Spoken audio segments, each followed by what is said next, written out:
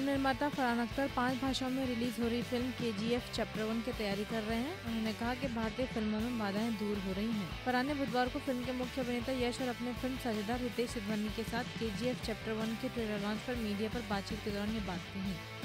ऐसे में जब फरहान कन्नड़ फ़िल्म पेश कर रहे हैं, भारतीय फ़िल्म उद्योग इतनी सारी भाषाओं में फ़िल्मों का उत्पादन कर रहा है, जिससे कि सवाल उठ रहे हैं कि क्या उद्योग एक ऐसे बिंदु पर पहुँच गया है, जहाँ भाषा महत्वपूर्ण नहीं है, बल्कि कहानी महत्व रखती है। इस पर फरहान ने कहा Yeah, I couldn't agree more. I think uh, barriers are kind of falling down every single day. The world is becoming a smaller place. We are all enjoying work from cultures and from languages that we weren't very familiar with many years ago.